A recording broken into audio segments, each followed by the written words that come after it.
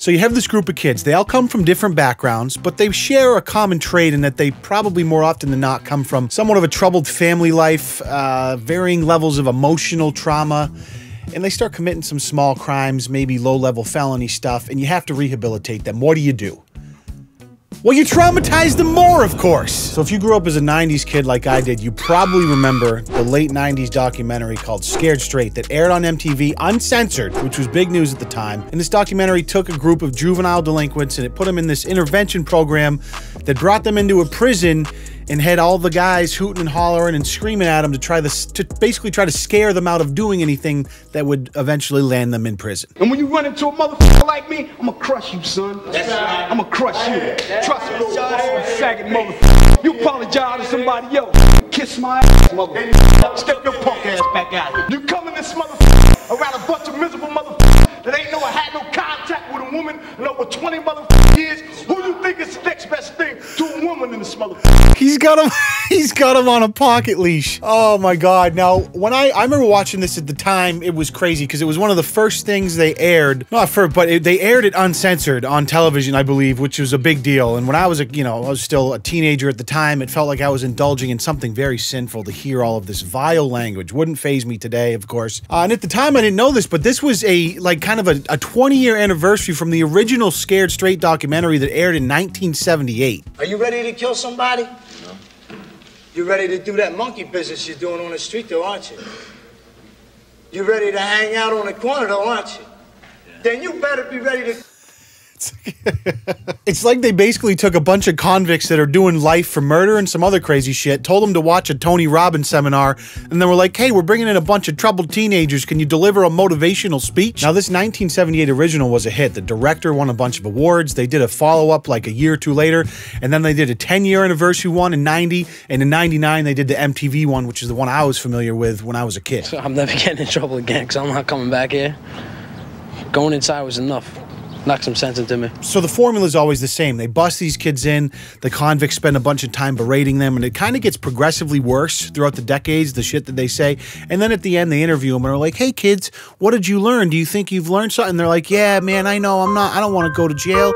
I'm definitely not going to fuck up again. The problem is, throughout the years, there's been a ton of research and a lot of control groups and studies conducted that show that this kind of intervention does not work to prevent kids, juveniles, from preventing future crime. In fact, it seems to have the opposite effect. Who you taking from? Who you took something from, boy? Look at me. You see this motherfucking face? You remember this motherfucking face? Cause you never want to meet a motherfucker like me. You understand? That's how. I know this may come as a surprise, but when you take kids that have probably experienced a lot of emotional trauma in their life, so they've acted out, and then you try to fix them by exposing them to further trauma, it doesn't always work. I don't know why. If it was up to me, I would have just sprinkled a little bit of Peter Popoff's holy water on them, called it a fucking day, but that wouldn't make for uh, such quality television. So, despite the overwhelming evidence based on decades of research in control groups and studies done on this kind of intervention showing that they do not work, in fact, they can be detrimental to these young individuals, uh, they still go on all over the country, apparently. That's why in 2011, Disney owned network A&E was like, hey, why don't we make another fucking Scared Straight? Let's not waste our time with this puny little update documentary. Let's milk this bitch for all it's worth and turn it into a series that goes on for nine fucking season all the way through 2015 until eventually I think they were petitioned to shut down because we were finally like, all right, you guys have made enough money off these poor, helpless, sad bastards. Uh, let's fucking wrap it up, please.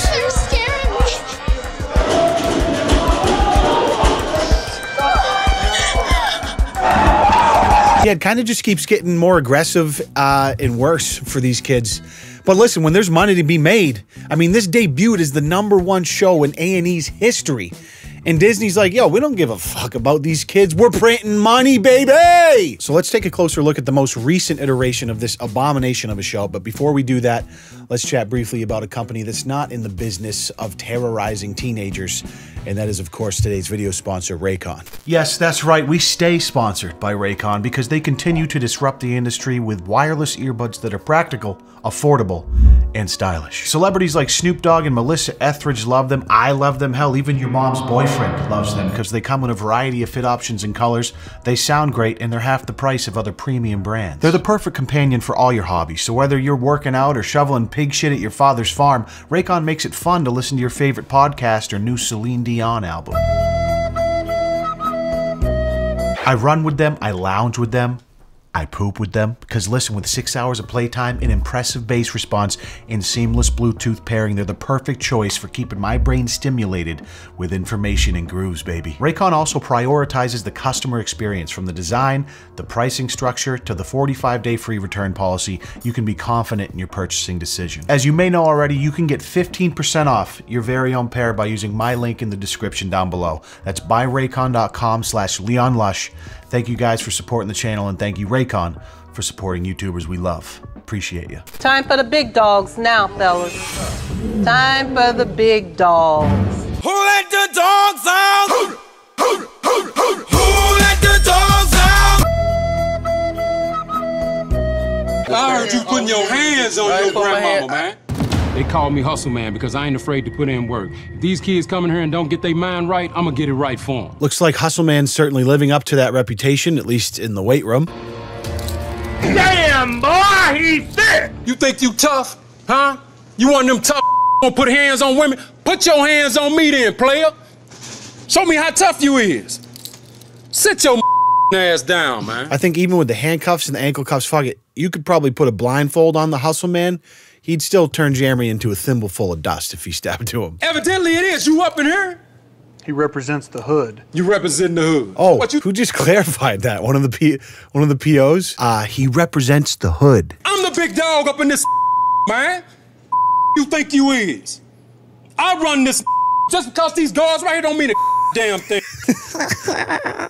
King Kong ain't got shit on me. I'm gonna go out on a limb here and say that Training Day is one of Hustleman's favorite cinemas. I'm the man up in this piece.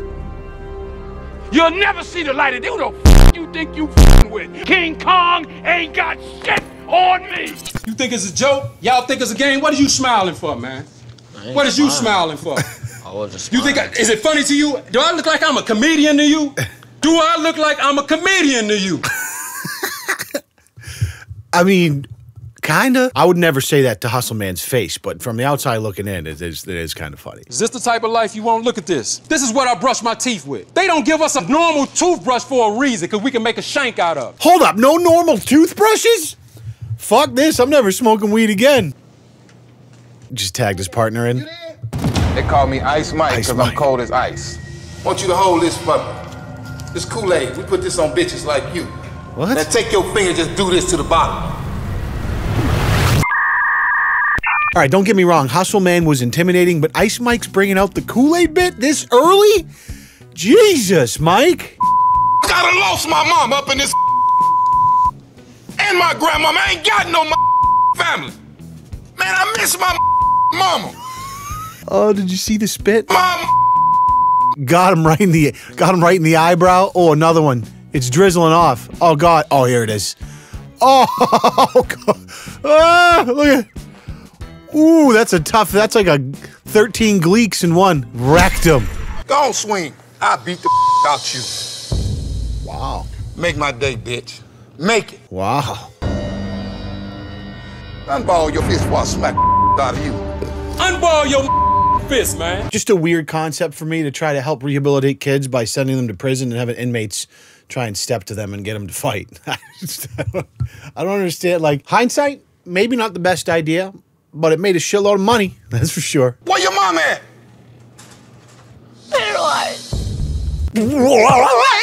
Curveball! The producers were probably like, uh, make sure you ask her where her mama's at.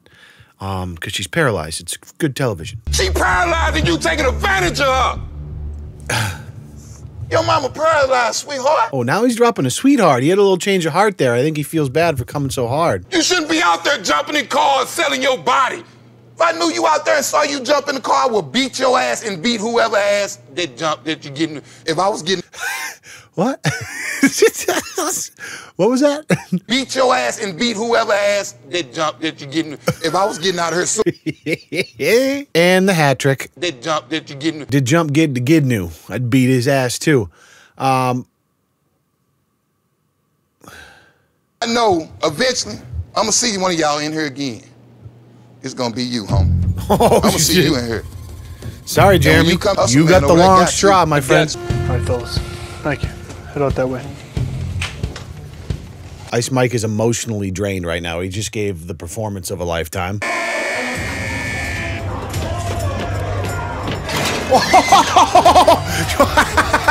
Instant table clear. You cannot convince me that that wasn't a manufactured scene by the production team. 100%. That's fantastic. It's amazing that these interventions weren't successful in teaching these kids empathy and restraint. You would never uh, know why. I, it's weird. Think it's a joke? Think it's funny? Yeah. Why? Yeah. So here we have a different why? episode. You think it's a joke that you're going to jail today and spending the day with me and everybody else? Oh my God, God ain't gonna help you here. Oh no. I'm Anthony. I mean, they could have gotten someone a little more intimidating. This guy seems a little bit eh, 10 ply. You're fucking 10 ply, bud. I'm gonna be more in your face. I don't give a crap. I don't care. I don't give a crap. What is the, they chose the guy that doesn't even swear to be intimidating? What's like what's the deal with that? What you gonna do when I punch your sister? in What? You ain't gonna do nothing if you ain't here. You ain't gonna do a damn thing if you ain't here. You gotta take care.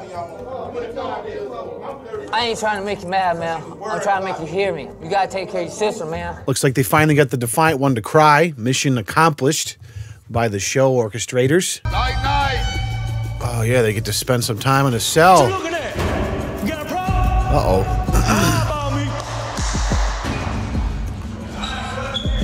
What you gonna do, boy? Come here. Come here, man. Give me that damn shoe, man.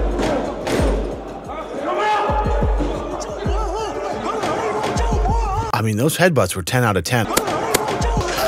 Oh no!